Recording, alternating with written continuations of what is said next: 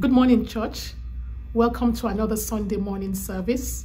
I just want to um, thank God for all of you, for life, for strength, for vigor, for protection, particularly at such a time as this. Our God has been good, He's been faithful, and we thank Him for sustaining us and letting us see yet another Sunday morning. And I encourage you this morning that as you come, you cast away all your cares, all your burdens, even unto Him. And I assure you that this morning the Lord will lift you up and the Lord will encourage you in the mighty name of Jesus. Let's say a short word of prayer. Our Father and our God, we thank you. We magnify you. We lift you up. We thank you, Lord, for another day that you have made. We declare that today is the day that you have made, and we will rejoice and be glad in it. Thank you, Lord, for keeping us alive to see yet another day. Thank you, Lord, for bringing us thus far, even in such a time and season of life as this. Thank you, Lord, for provision. Thank you, Lord, for protection. Thank you, Lord, Father Almighty, for hiding us in your tabernacle in the time of trouble. Thank you, Lord, Father Almighty, for being our all in all, for never leaving or forsaking us. Father, as we come into your presence this morning, as we lift up our voices this morning before you, we ask, oh God, Spirit of praise, that you come down from your holy habitation and dwell in our midst this morning. We ask, oh God, that you will reveal your glory, you will reveal Jesus unto us, you will reveal your power and your presence even this morning in the name of Jesus. Lord, we ask, oh God, that as the word comes forth this morning, it will be a word in due season, a word that will excite us, a word that will encourage us, a word that will lift us up in the name of Jesus. Father, we thank you, Lord. We declare this morning service open in the name of the Father, in the name of the Son, and in the name of the divine Holy Spirit. As we have come expectant this morning, we ask, oh God, that you'll meet each and every one of us as our level of expectation in the mighty name of Jesus. We pray, Holy Spirit of God, that this new week will be a week of your divine favor for each and every one of us, a week of your divine abundance for us in the name of Jesus. Lord, we ask that you continue to protect us, you continue to uphold and keep each and every one of us in the mighty name of Jesus. Thank you, Holy Spirit. Have your free reign in our midst this morning and do what only you can do. And at the end of it all, let today be another glorious day of encouragement, of lifting in the name of Jesus. Thank you, blessed Redeemer. In Jesus' mighty name, we have prayed. Amen. How many of us are excited to be in gospel this morning? Can I get a witness in the house? worship you in this place. For many people watching us online, lift your hands and give him praise.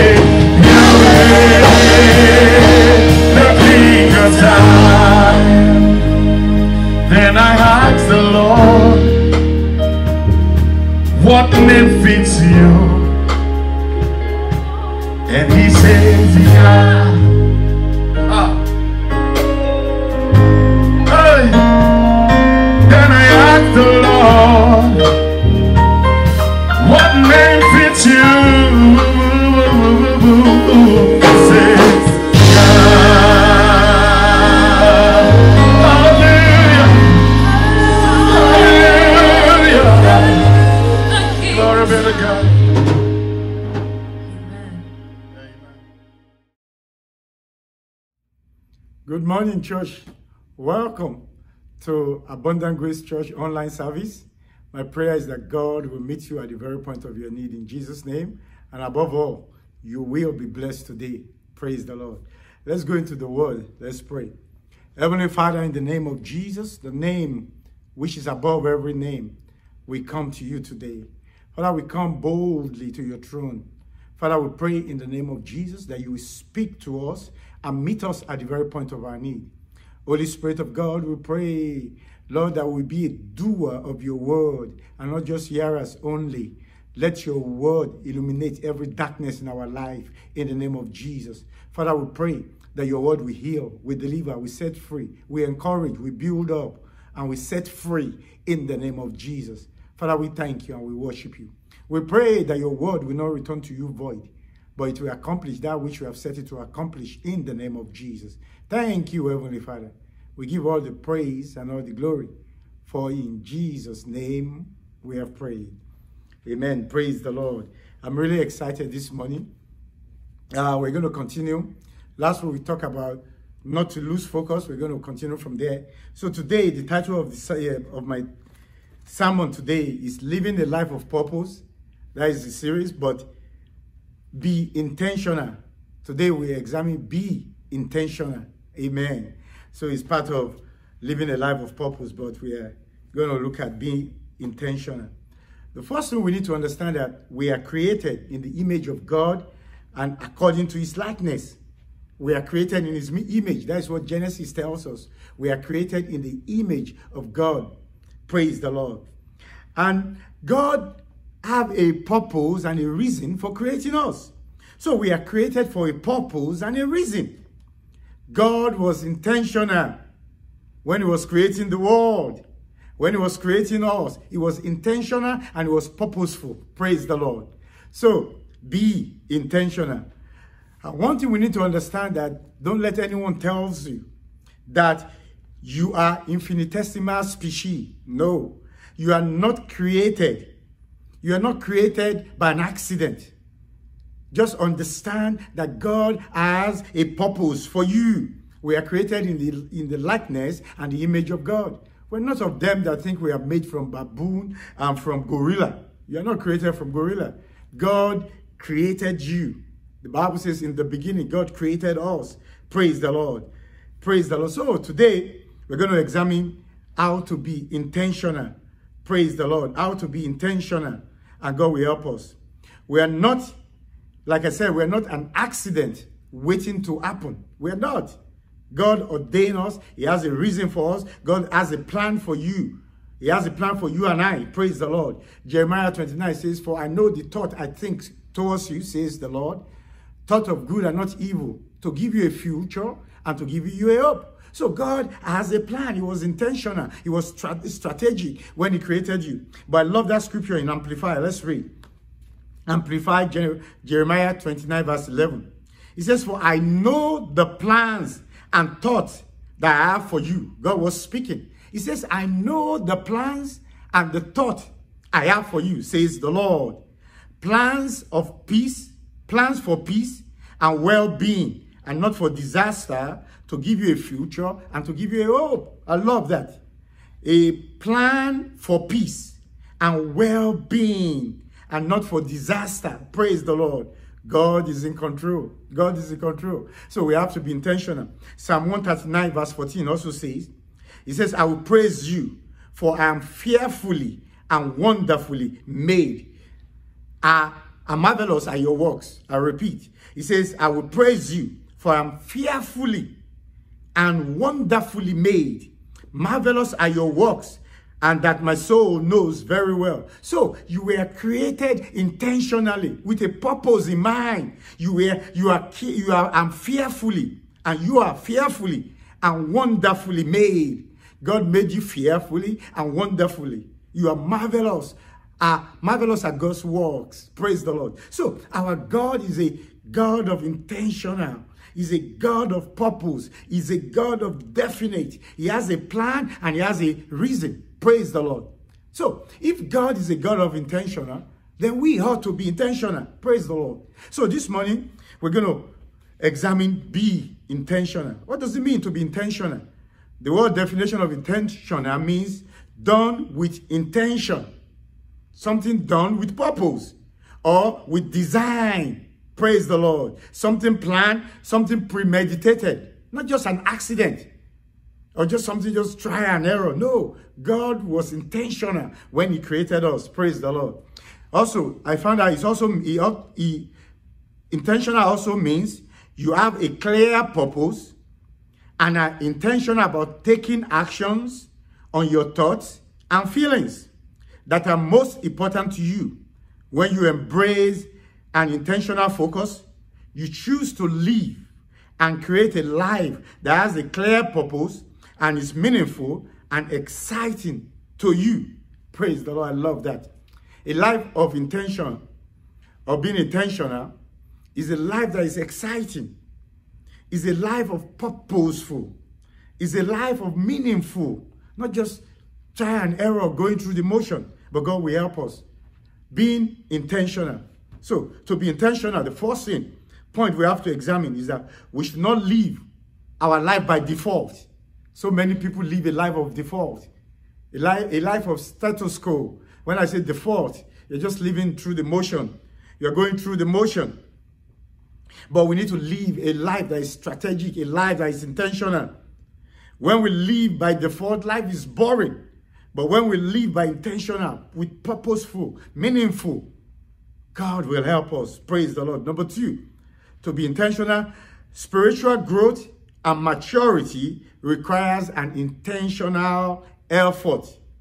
If you want to grow spiritually and you want to be mature in the Lord, you got to be intentional. Not a baby Christian that everything goes. No, you got to be intentional about what you what you feed your spirit. Praise the Lord. What you say, spiritual growth and maturity require us being intentional effort.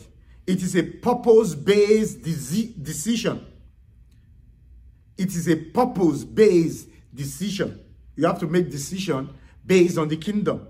Colossians 3.16 says, let the word of Christ dwell in you richly. The word of God, let it dwell in you richly. In all wisdom, teaching and admonishing one another in psalms, in hymns, and spiritual songs, and making a melody unto God, singing with grace in your heart to the Lord. Praise the Lord. Praise the Lord. Colossians 3.16. Very powerful scripture. Let the word of God dwell within you richly. The question is, how do you allow the word of God to dwell in you richly?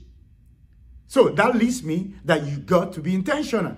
You have to be intentional if you want the word of God to dwell in you richly. You got to take time to study the word. Take time to pray. Take time to fellowship with God. We got to set time aside. We have to be intentional. Praise the Lord. Also, some people might need to increase the time that they spend with God or in the Word. Others might just need to start.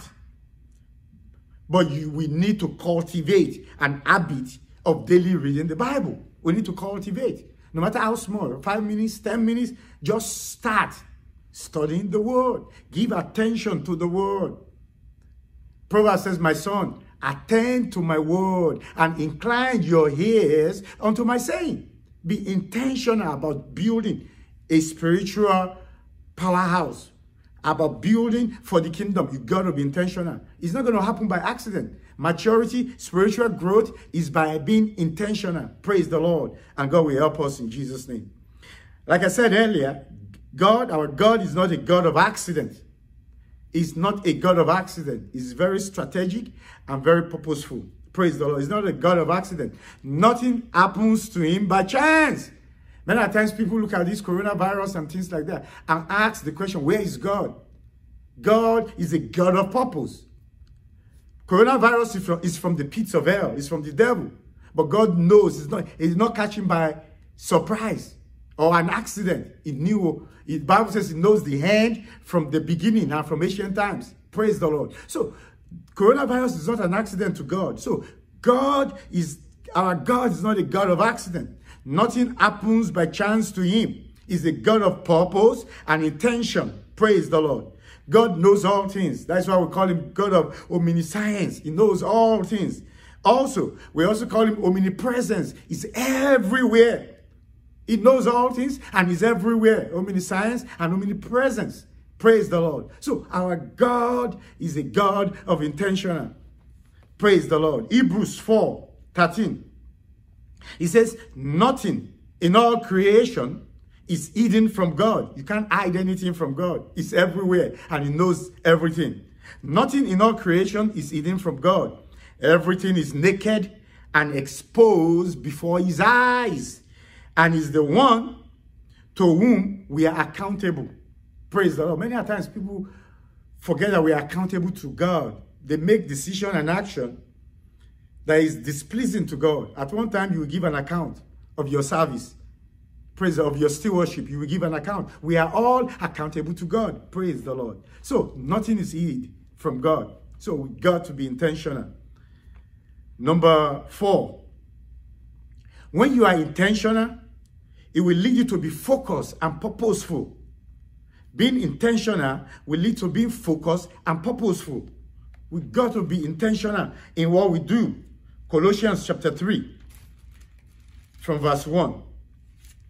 It says, If then you were raised with Christ, if that is true, you were raised, raised with Christ, is admonishing us to seek those things which are above, where Christ is sitting at the right hand of God.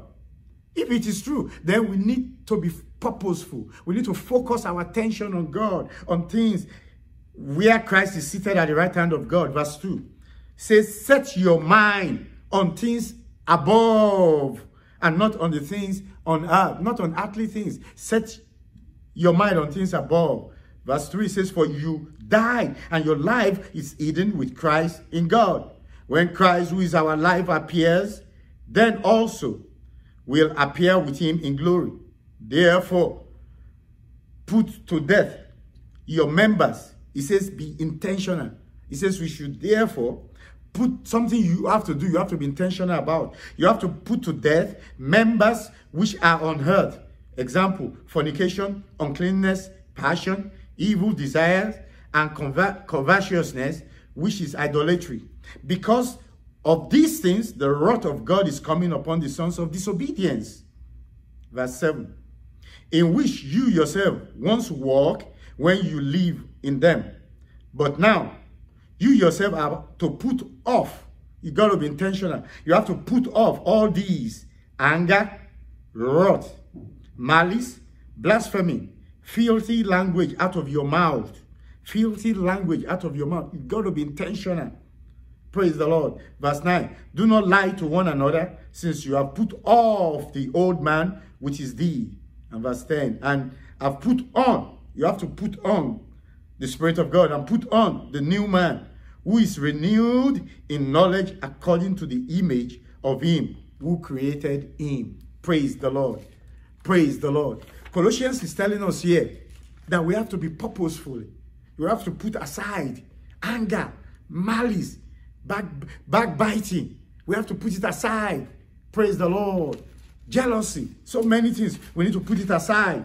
And then he went on to say that we should put on the new man, which is renewed in the knowledge according to the image of him who created him, in the knowledge of God. We need to put on the new man. But God will help us in the name of Jesus. So the Bible is saying that we have to be intentional. And the Holy Spirit will help us.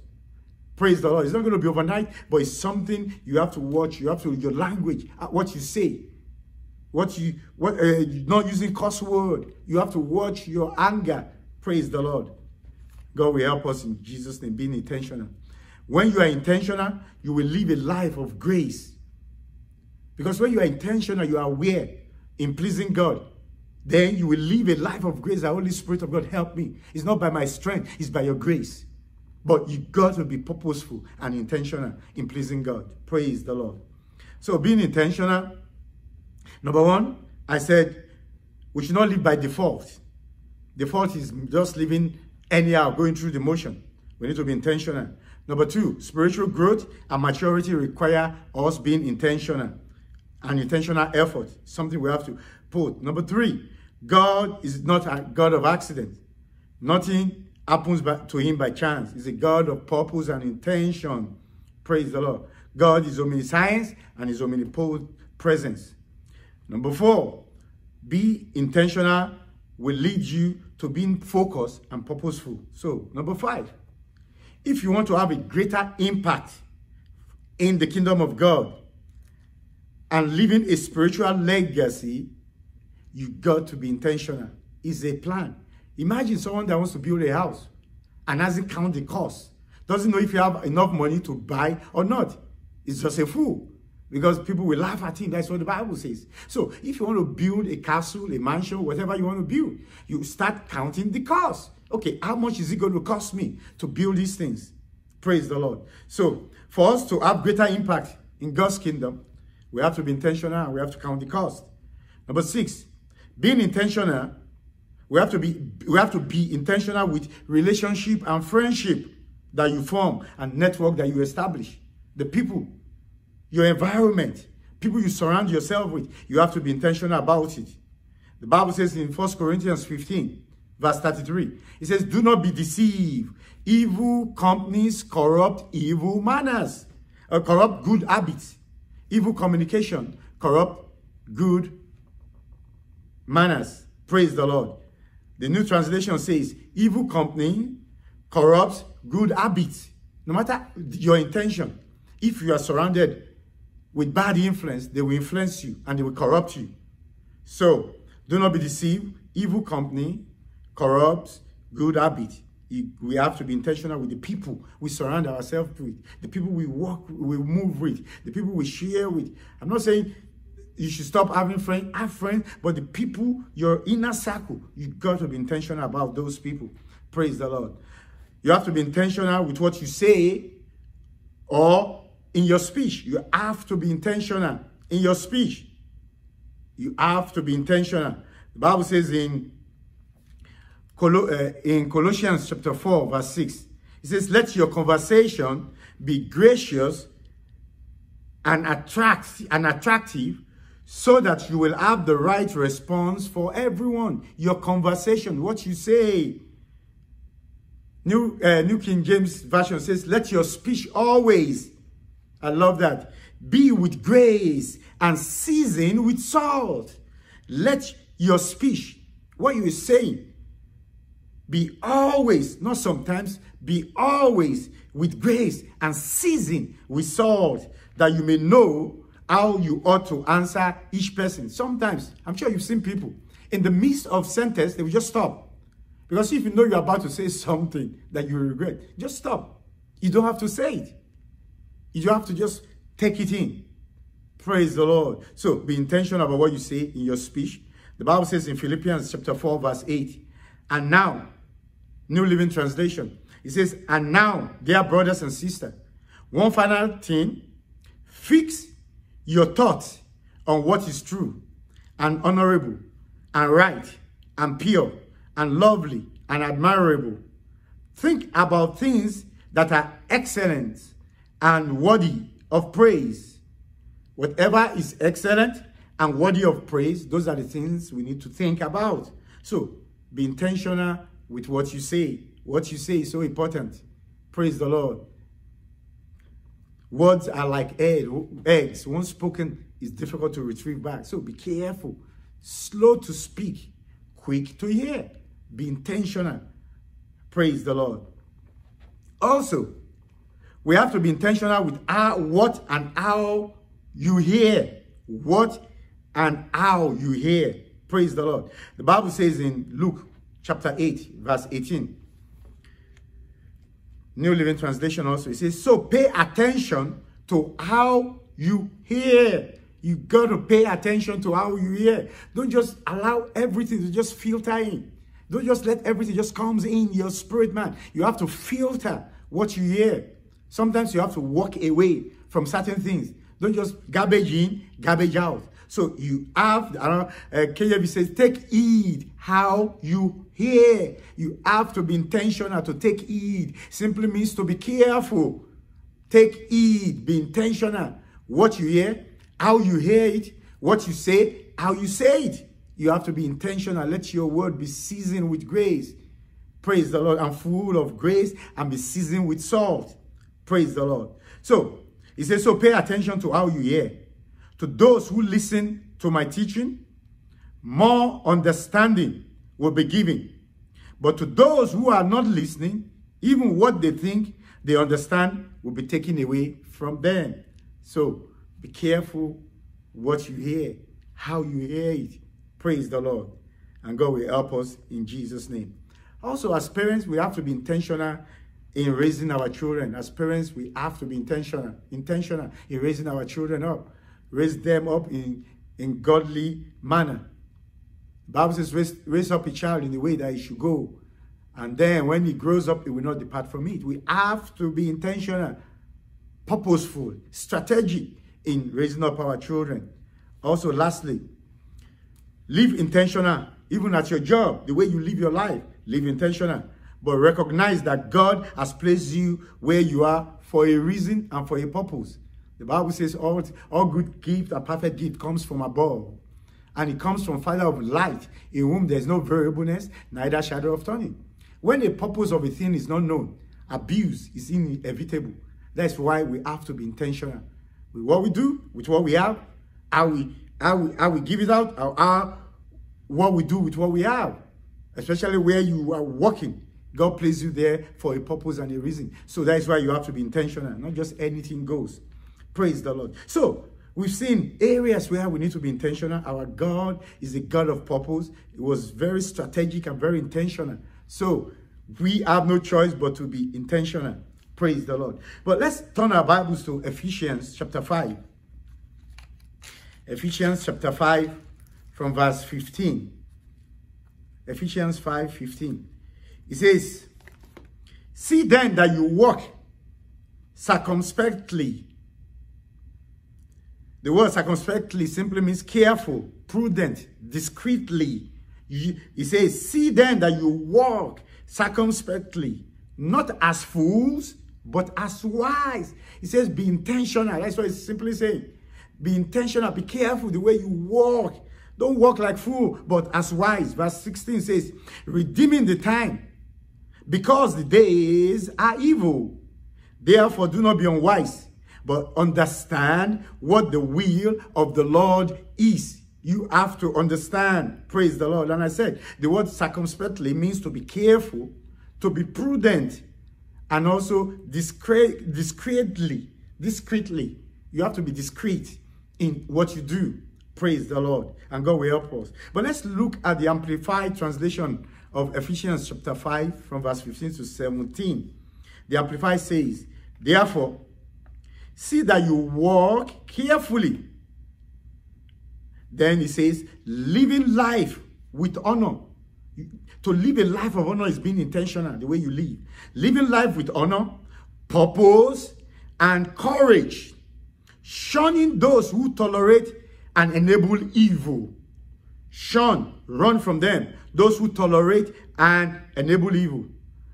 Not as the unwise, but as wise, sensible, intelligent, discerning people. Verse 16. It says, making the very most of your time. You are going to make the very most of your time if you are being intentional. Making the very most of your time on heart. Recognizing that and taking advantage of every opportunity and using it with wisdom and diligence. Redeeming the time. The days are, are evil. Taking advantage of every opportunity. Praise the Lord. And using it with wisdom and diligence. Because the days are filled with evil. Verse 17. Therefore, do not be foolish, and thoughtless, but understand and firmly grasp what the will of the Lord is. Praise the Lord. What a powerful translation. He says we should walk carefully, living with a life, living a life with honor, purpose, and courage. And then he says we should shun those who tolerate and enable evil. Don't be amongst them.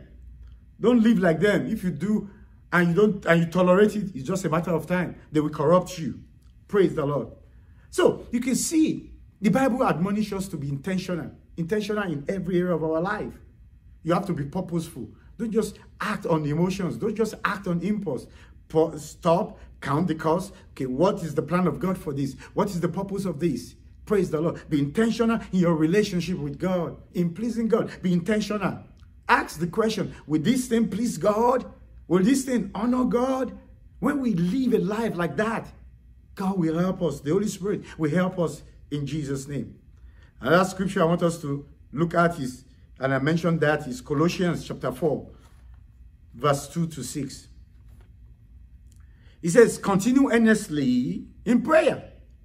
He says, continue in prayer, earnestly in prayer, be intentional, being vigilant in it with thanksgiving. So you can see how Paul was admonishing to Colossians to be intentional.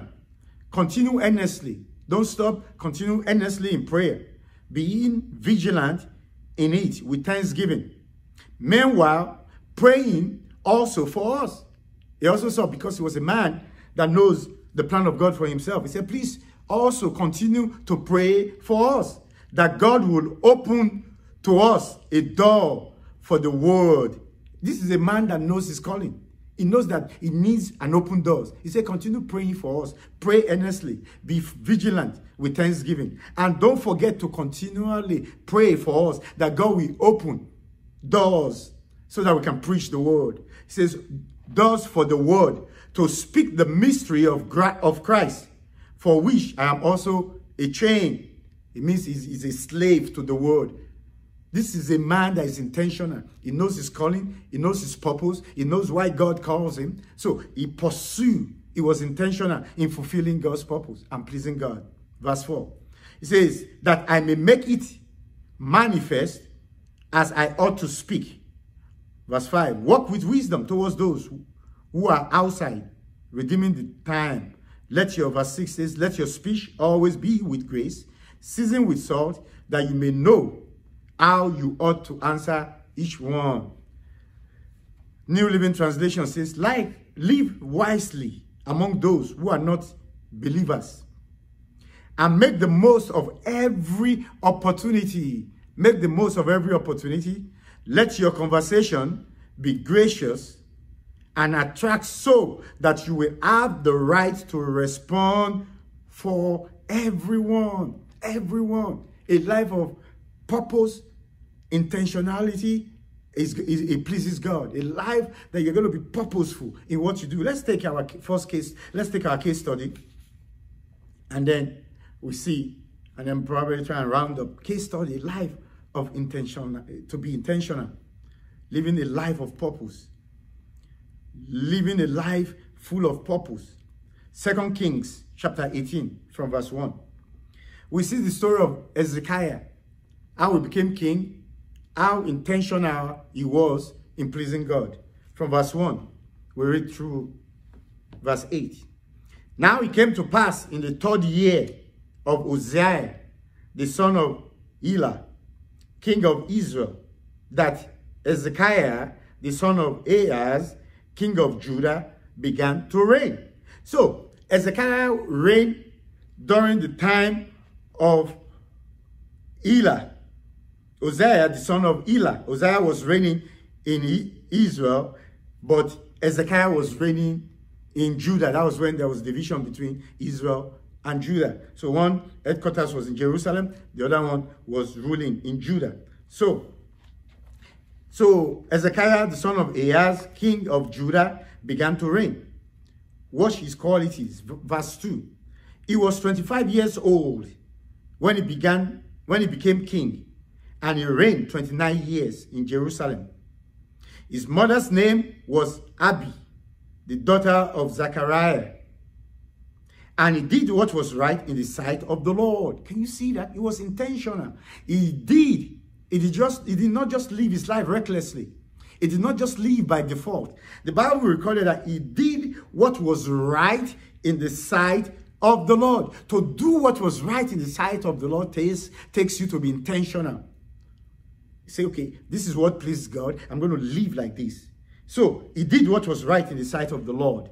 According to all that his father David had done, he must have researched the way David lived. And then he did what was right in the sight of the Lord, being intentional.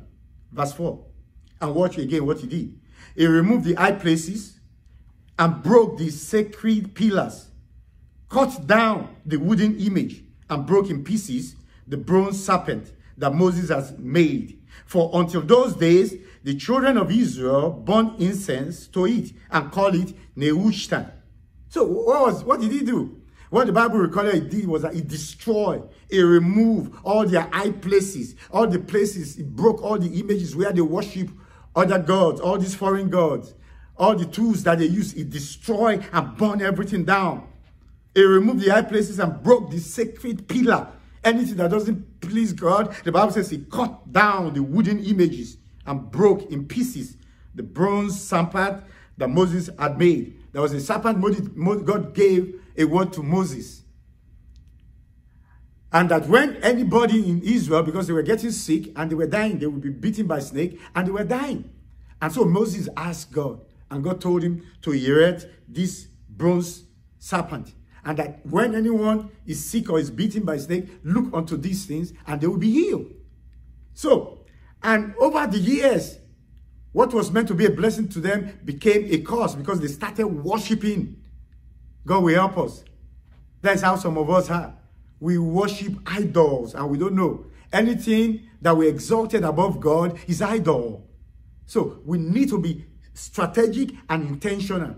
Praise the Lord. So he destroyed everything and burned incense to it and called it Nehushtan. Verse 5. The Bible says he trusted in the Lord of Israel, being intentional. This is not the norm. This is not how the people ahead of him reign. They did not trust God. They did not believe in God. They were just living recklessly, but he was intentional in his reign. He trusted in the Lord, God of Israel, so that after him was none like him among all the kings of Judah, not who were before him. Verse 6, For he held fast to the Lord.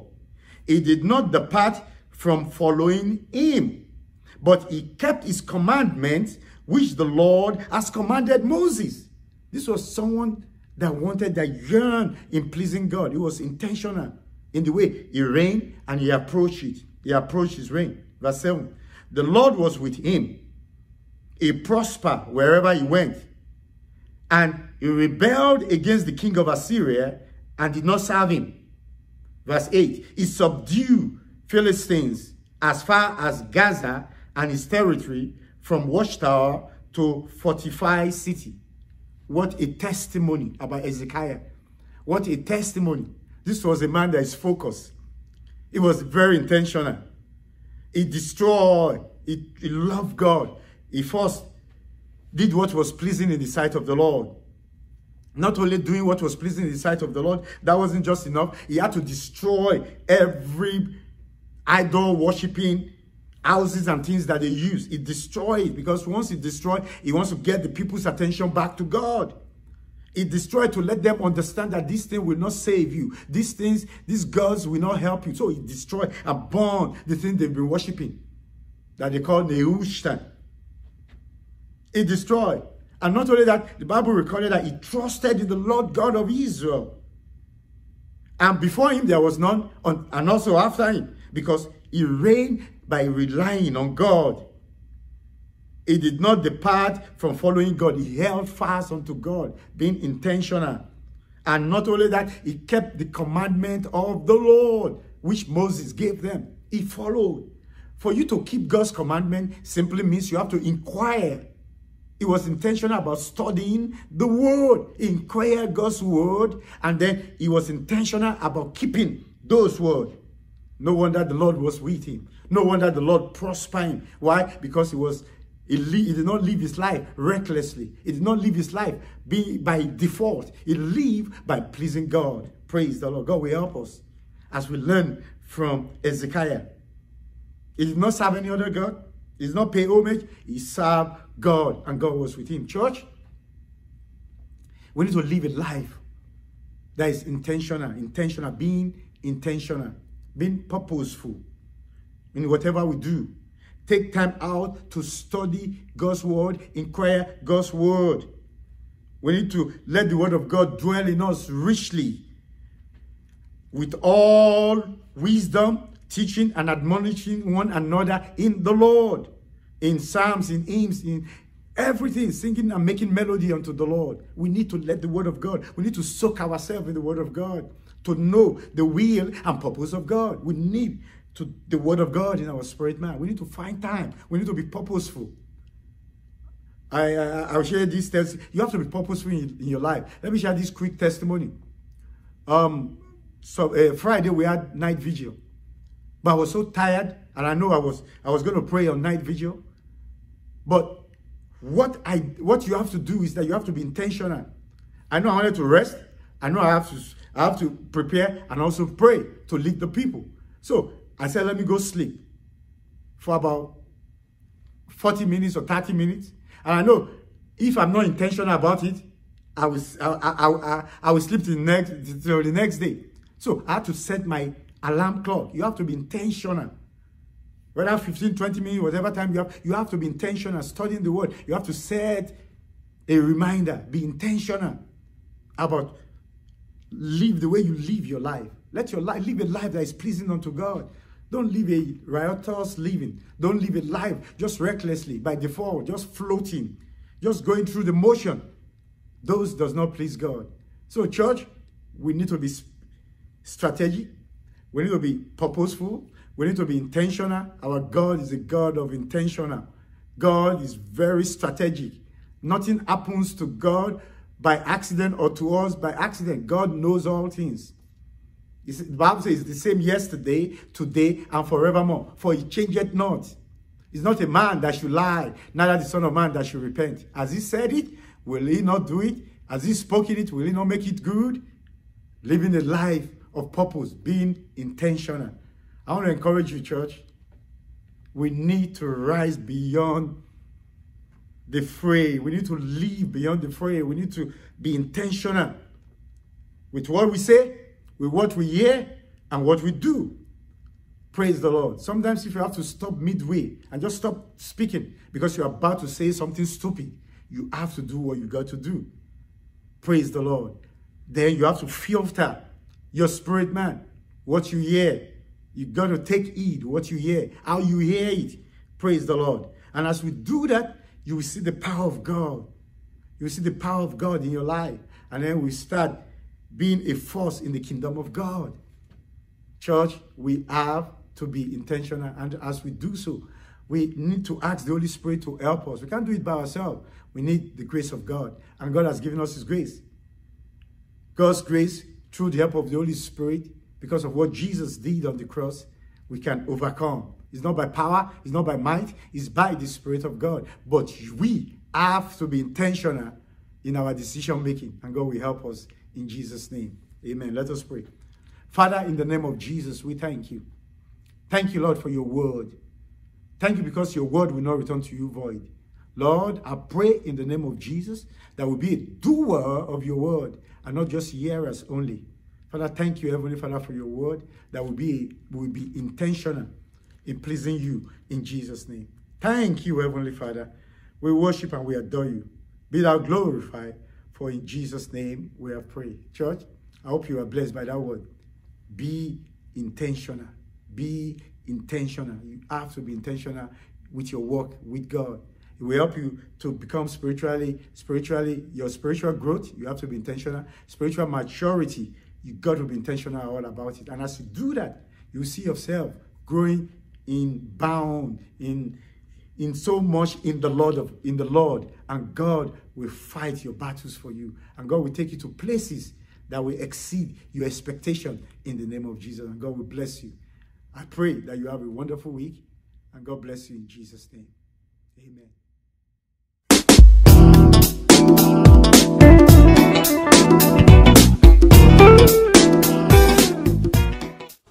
In our lives, it's important to note that success is always the result of following the leading of the Holy Spirit. God is truly interested in every aspect of our lives. Remember that God wants us to prosper and to enjoy success as we follow his plan for us. Jesus tells us in John 10:10 10, 10, in the amplified version that the thief comes only in order to steal and kill and destroy. I came that they may have life and have it in abundance to the full till it overflows. No matter how long it takes to reap the benefits of your obedience to God, it always pays to follow His leading. If you learn to follow His voice in all situations, you'll find that you always come out victorious and experience the abundant life that Christ promised in John 10:10. 10, Join us for Bible study on Zoom Tuesday at 7 p.m. as we learn to listen obediently to the voice of God. See you Tuesday.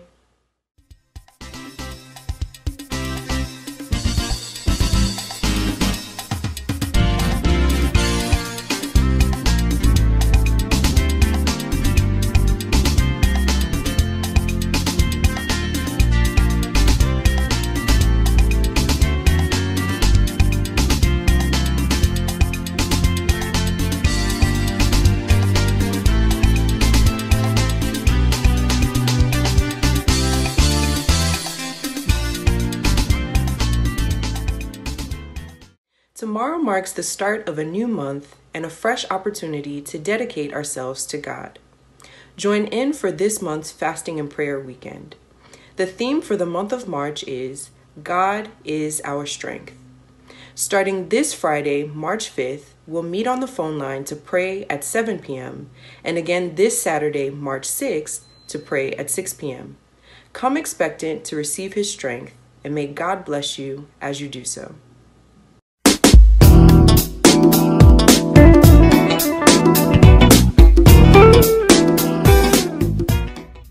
Hello, church.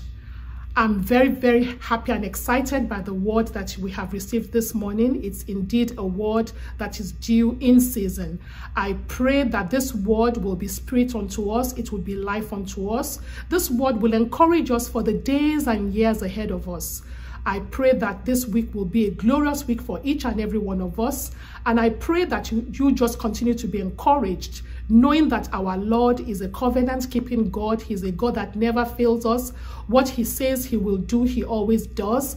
And I just want you to know that nothing, absolutely nothing, can separate us from the love of God. Hallelujah. And now, brethren, I commend you to God and to the word of His grace which is able to build you up and to give you an inheritance among all them which are sanctified. God bless you, and I pray that this week will be a glorious and fulfilling week for you in Jesus' mighty name.